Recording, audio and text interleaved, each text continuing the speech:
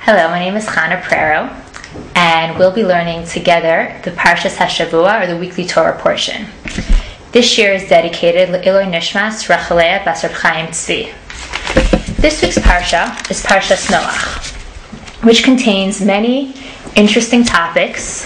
One of them is that of the Dor Haflagah, the generation of separation. So I would like to learn this topic together with you. So please open up your Chumashim to Perek Yud Aleph, chapter 11. If you have the Art Scroll Sapirstein Chumash with the translation of Rashi, that would be page 105. If not, open up whatever Chumash you have. So let's begin. And the entire land was one language, and for now I won't translate it. The term is dvarim achadim. So what does this mean? One language. They're speaking the same language. You might ask, what language is that?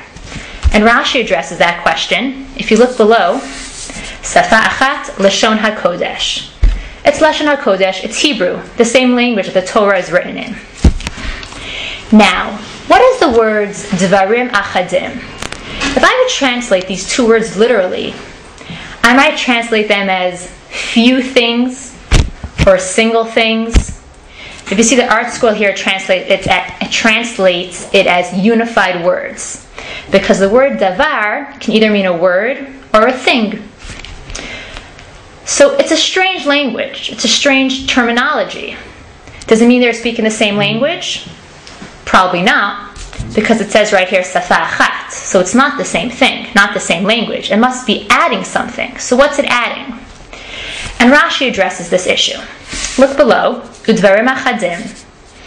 What does he say? Ba'u achat. They came with one plan of action. Va'amru, they said, Lo kol heimenu sheyavor lo et yonim. It's not right that God has the higher realms all for himself.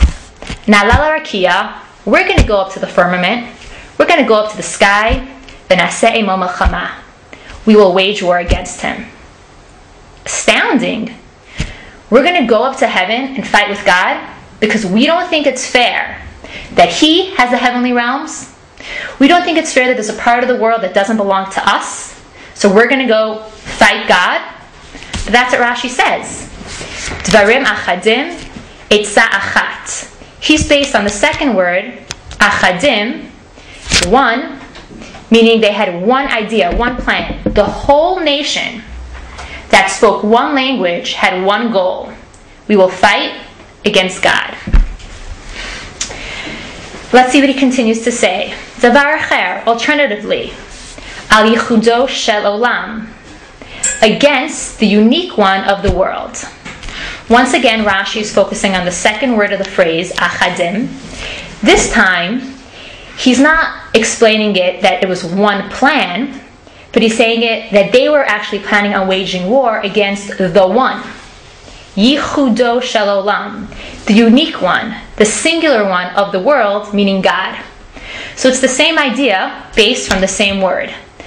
We have the nation joining together with one plan, again, achad, one plan, against the achad, against God, with the same idea that they think somehow that they can actually wage war against God and win.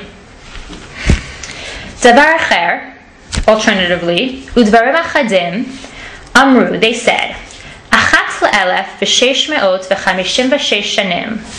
Once in 1,656 years, Harakia mitmotet, the firmament collapses, Kishem shasabit mehamabo, as it did in the days of the flood. Bo'bas v'na'selos smuchot, come let us make supports for it. The Bereishis Rabbah, as it says in Bereishis Rabbah.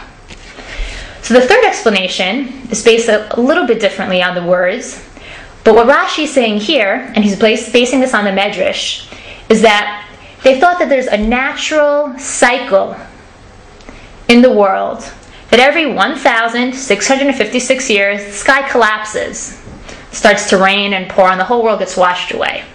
The flood that happened over 100 years before. So to prevent this from happening again, they said, you know, we're going to build a tall tower and we're actually going to hold up the sky like a bunch of pillars. And somehow that's going to prevent another flood, another Mabul from occurring.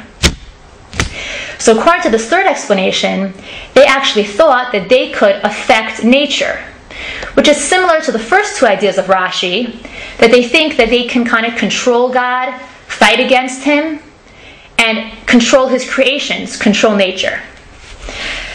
Here, this explanation is also based on the word achadim, but not like the word echad, one. Rather, if you look at the word achadim and you change the punctuation, you can read it as ichudim or achudim. And then if you switch the letter dalet and zayin, you have the word achuzim. What allows us to switch the d and z sound is because they both come from the same